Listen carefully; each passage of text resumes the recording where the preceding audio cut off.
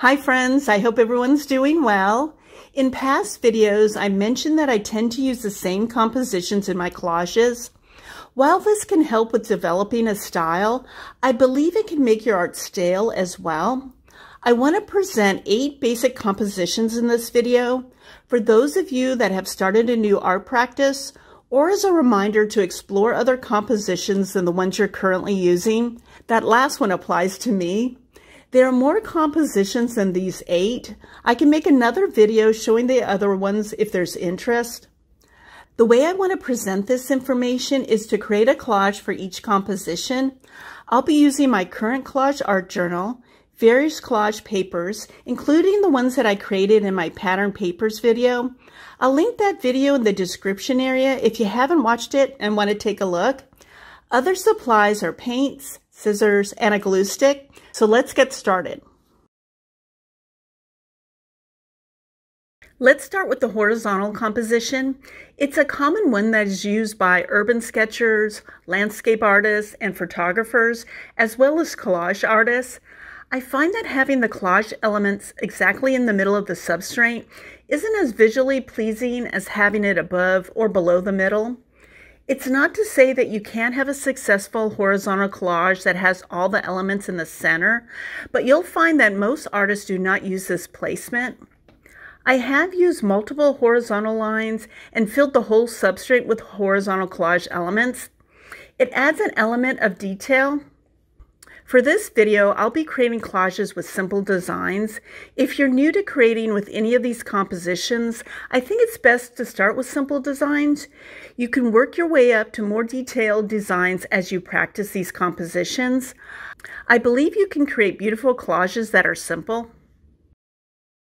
Here are the papers that I pulled. I like to decide on the color palette before pulling papers. It helps to narrow the selection process. Since I pulled more papers than I will use, it helps to have a color palette selected. I'll be painting the ground with Blick's matte acrylic paints in yellow bright and green deep. This is an optional step. I have an idea for a ground that I would like to try out. I'll be using these two 3 quarter inch flat brushes. I applied yellow paint first because I wanted to see what would happen if I painted the green paint overlapping it. I would classify this paint as student grade, so the final look would be different if I used studio grade paint. I decided to add more layers of both colors to get the ground to have more texture and depth.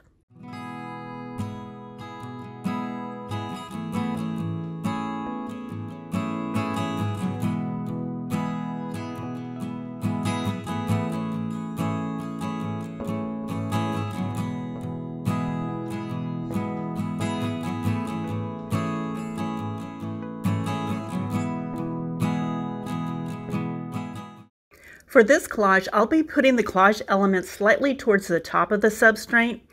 I'm starting to collage using large pieces of paper because I want to be adding smaller accents on top. I want to make sure the viewer will see some of the base papers underneath the accent papers. You don't necessarily need to use long, narrow papers for horizontal compositions. You can use square shapes like I'm using. It's more about the placement of the papers than the shapes. As I have mentioned previously, it's good to have a variety of sizes and shape papers or elements in your collage to make it visually pleasing.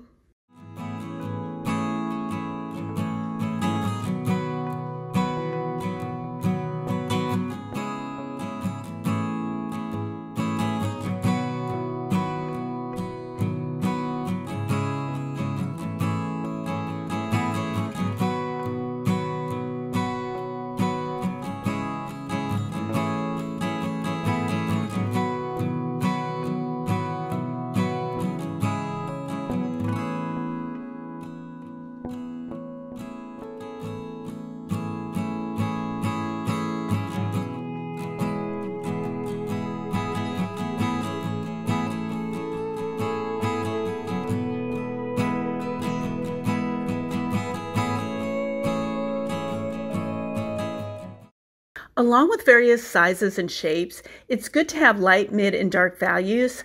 The two base shapes are mid-tone. The dark value is the dark green grid paper, and the light is the security envelope scrap.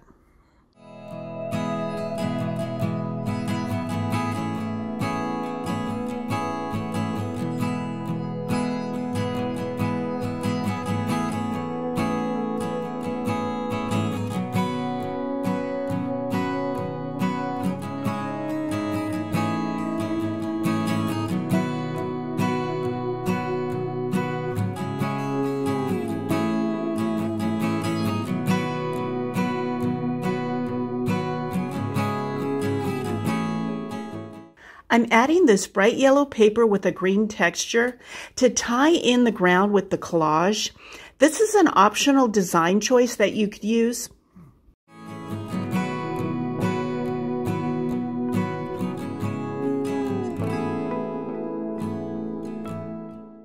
Here's the finished artwork.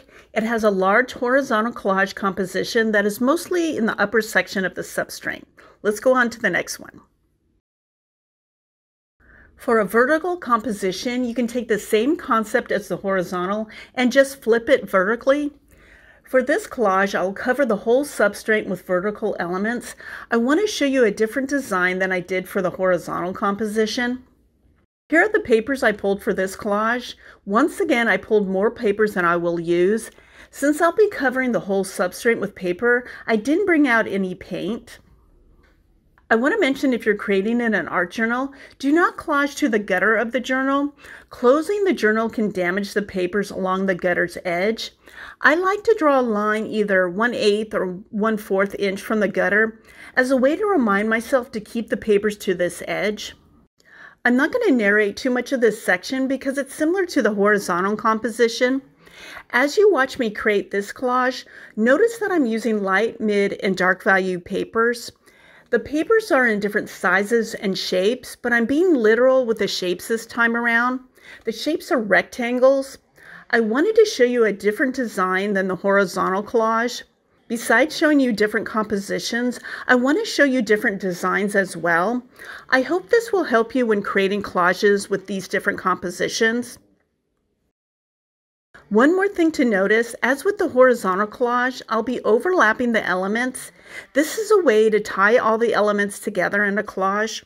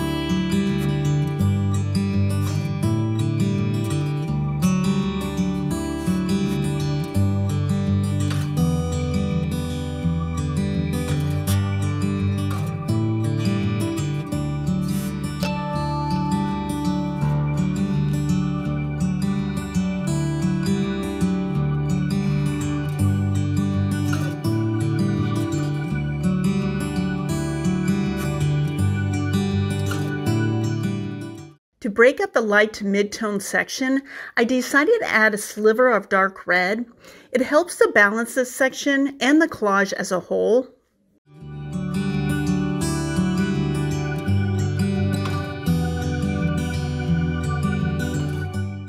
Here's the finished collage. It's balanced and cohesive.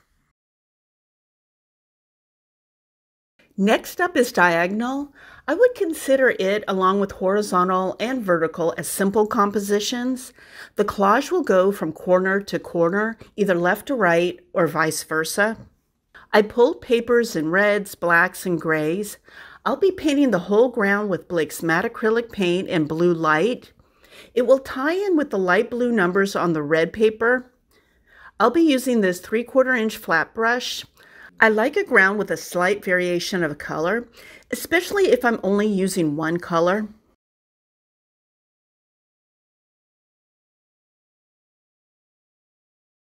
I'm starting with this red paper because I wanted to go from corner to corner. It's not quite long enough, but I'll add a small section of it to extend it to the other corner. If you're creating a diagonal collage in an art journal or a sketchbook, I would suggest having a pencil on hand. It helps to mark the area of the paper that needs to be cut on an angle, especially near the gutter of the journal. This section will have limited narration as well. I do want to mention that I'll be cutting the papers in various sizes along with various widths and lengths. This diagonal collage will be a literal interpretation. I'm being mindful of not using too many pieces of the red paper.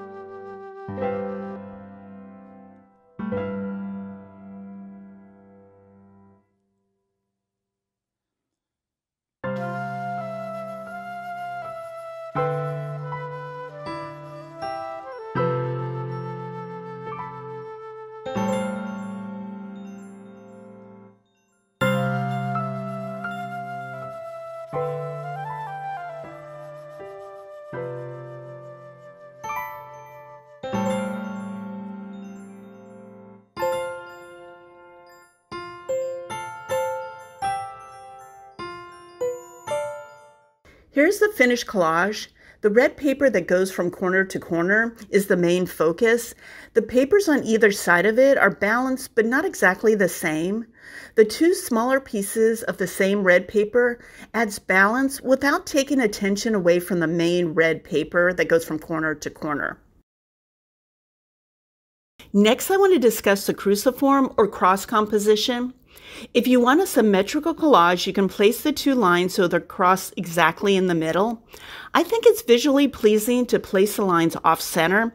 Even the intersection is slightly off center.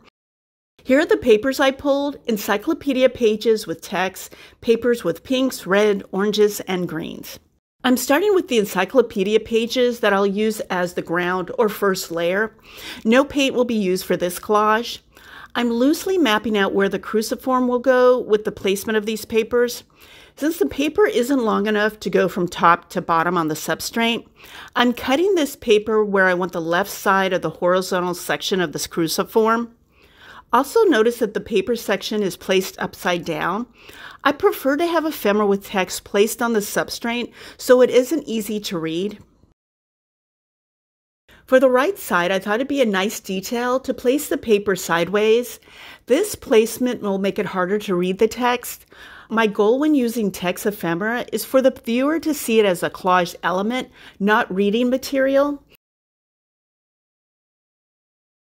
Again, I left space where I want the right side horizontal section to be. As you can see, it's slightly higher than the left side. As I build this collage, I'm not cutting the papers into a thin cross. I'm using the areas that I mapped out for the cross with the encyclopedia ephemera as a loose guideline.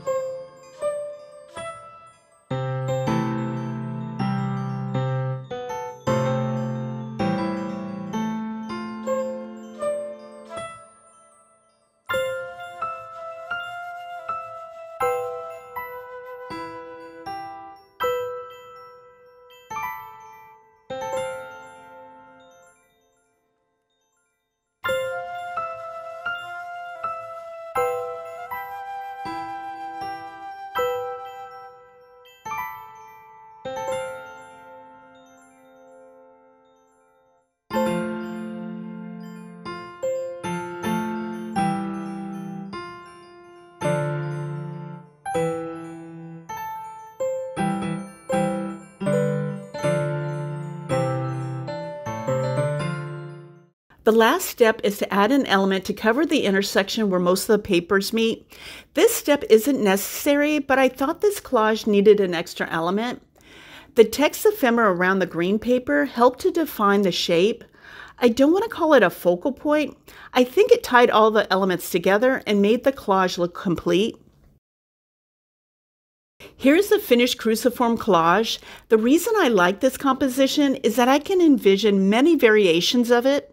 It can be very structured like a cross, or you can create a very loose collage that will take the viewer a bit to figure out if you use the cruciform composition.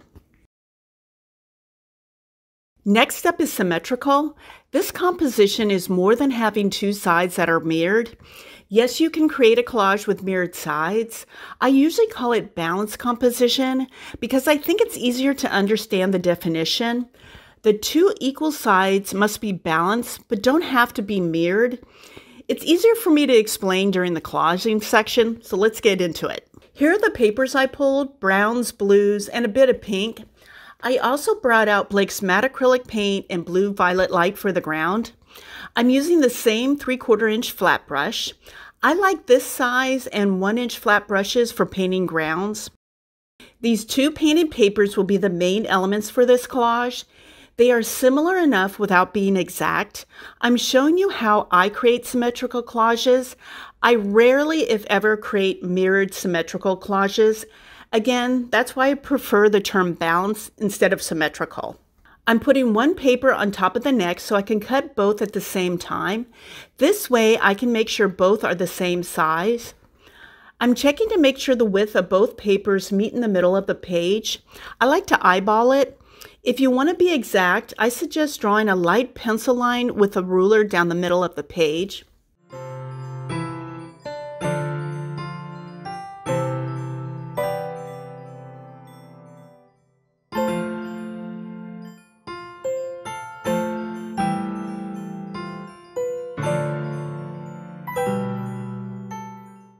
To reinforce the symmetry or balance composition, I'm using this loose monoprinted grid paper to glue down the middle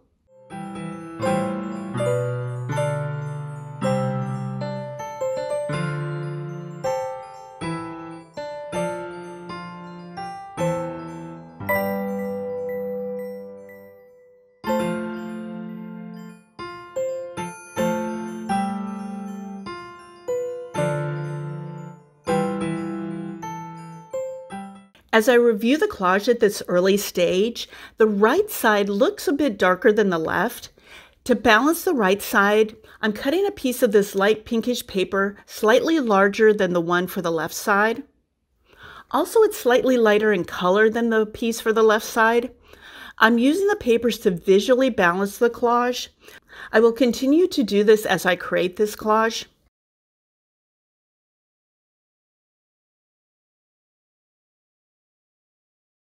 For this brown envelope, I'm not cutting the same size or shape for each side.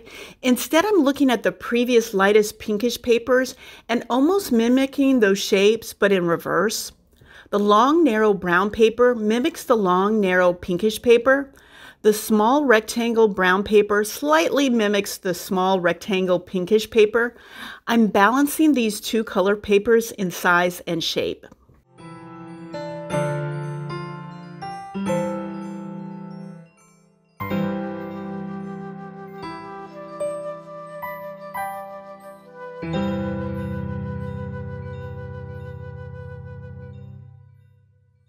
Now with the blue and white security envelope, I'm not going to mimic any of the existing sizes and shapes.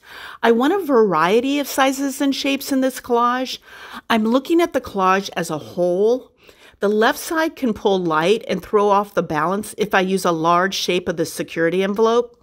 I'm cutting a long, narrow piece for the left side. For the right side that can look dark, I'm cutting three small rectangles.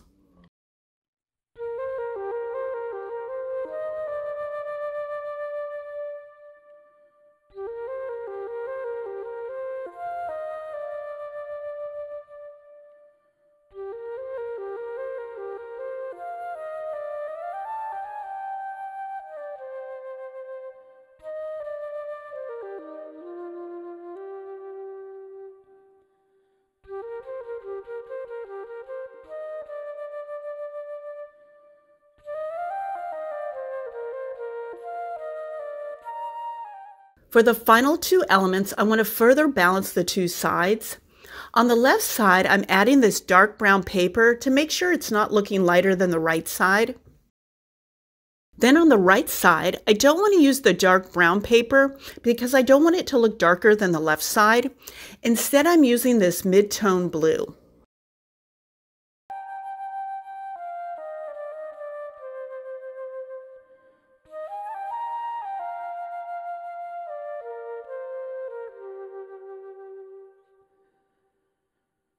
Here's the finished collage. I hope you can see that it's balanced or symmetrical without having the two sides exactly the same. Since we just discussed symmetrical composition, let's discuss asymmetrical next. The simple definition is that the elements on either side of the composition are not the same. It's unbalanced. Here are the papers I pulled, purples, yellows, and oranges. I decided to paint the ground with Blick's matte acrylic paint in yellow oxide.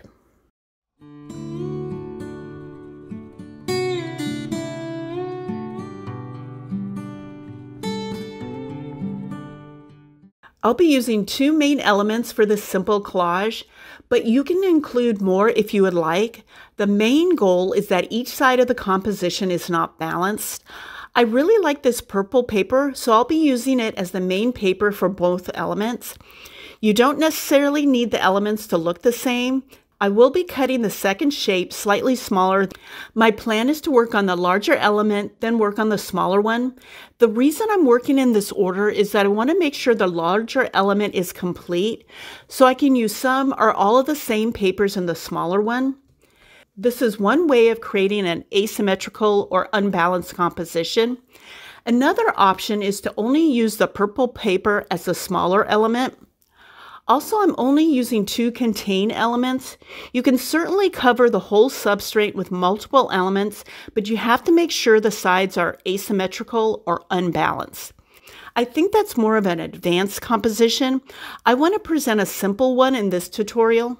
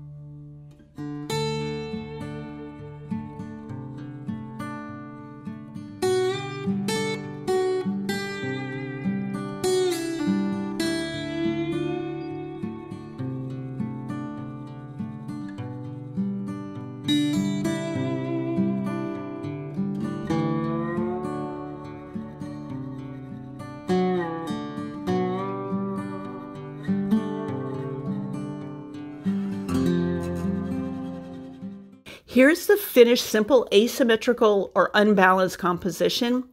It was a conscious decision not to use the light orange paper in the smaller element. It's a subtle way to reinforce this unbalanced composition. The two elements relate to each other, but are not a mirrored image. Radiating is a fun composition to use. All the elements radiate from the central point. You can put the central point exactly in the middle of the substrate, but I prefer to have it off center. I think it's more visually pleasing. Here are the paper options for this collage. This composition lends itself to using a lot of different color papers. If you do, be mindful of balance and contrast. Also use different widths and lengths. I will be painting the ground with PaperArtsy's Elephant. I brought out this old brush because my plan is to apply the paint in a dry brush method. I found that using old brushes create a good dry brush effects. The ground will mimic the radiating composition. It can be used as a guide to where the central point is located so you know where to put the papers.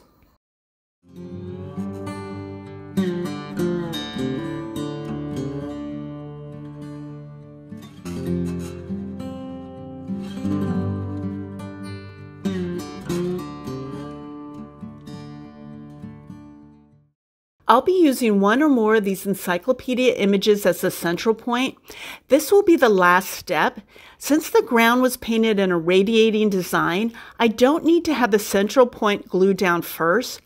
By applying the central point last, I can cover any ends of the papers that meet in the central point. Creating a radiating collage in an art journal can be challenging. It's easier to create on a single piece of paper. You're not concerned about cutting the edge of the papers near the gutter of the journal, I like to cut a piece of paper close to the size of the finished shape. It's a bit easier to cut down to size. It's good to have a pencil on hand to mark where you need to cut along the gutter. Also, you'll see me fold the papers to get an estimate of the angle of the cut. At this point, I'm going to add music while you watch me work on this layer of the collage. I'll come back when it's time to add the central element.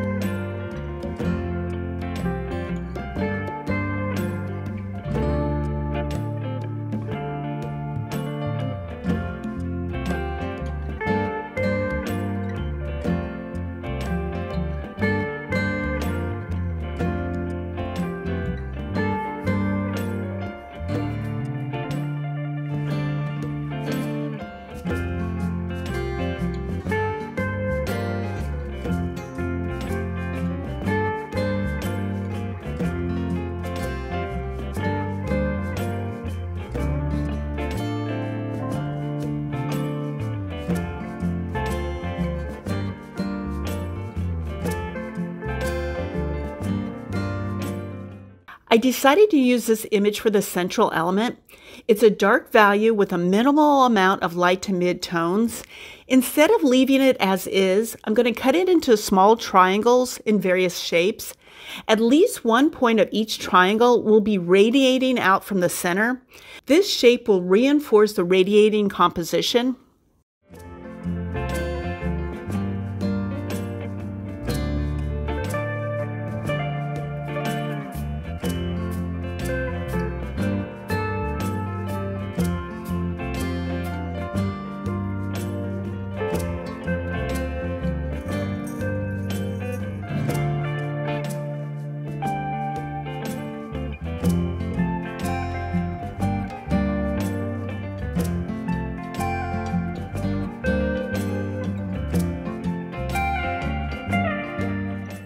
Here's the finished collage. It's more complex than the other collages I've made so far in this tutorial.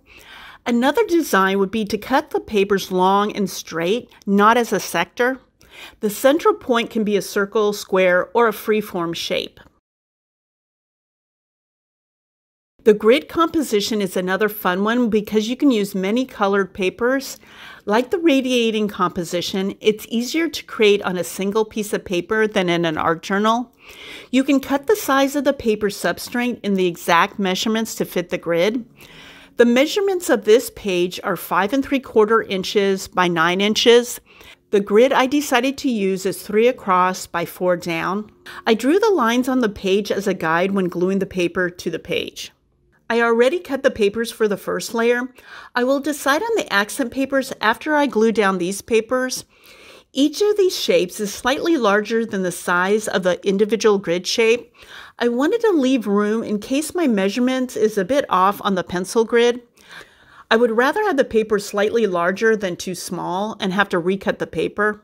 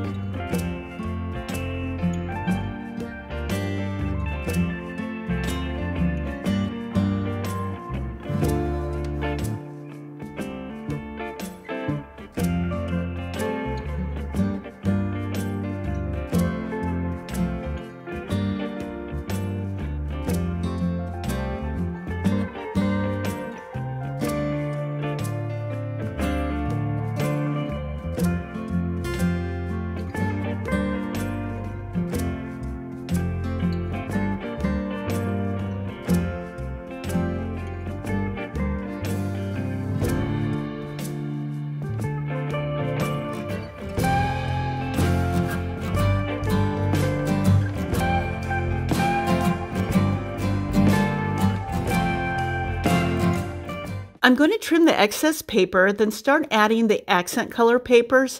I like to do this step to give myself a clean work area so I can trim the accent papers to the correct size. Since the first layer shapes have cut edges, I want the accent papers to be torn. It'll add a good contrasting detail to the collage.